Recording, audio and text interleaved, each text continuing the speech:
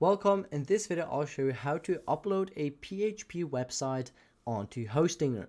So the first thing you want to do is to actually log into your Hostinger account and in your dashboard navigate to websites. Here you will have all of your websites listed and here you want to click on create or migrate a website and now you will have this option here or th these questions and then you will want to click on skip I don't want personalized experience.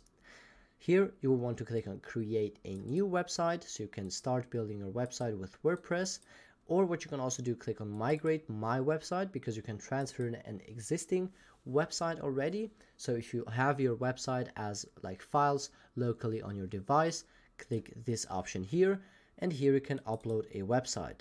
So we will click this option here and here you can choose a file. You can see that the maximum size is 256 megabytes, but I think your website is probably not that large.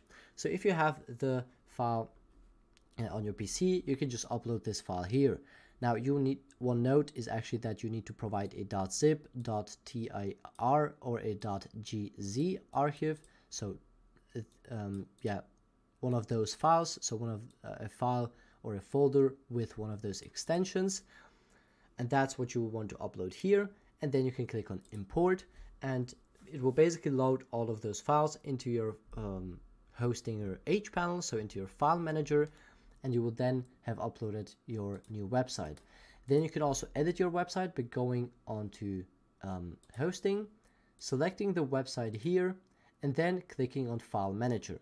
So if you click on file manager, you can then access those files that you have actually just recently uploaded and here if you click on public underscore HTML, you'll be able to see all of those files here that were in that file that you've uploaded before.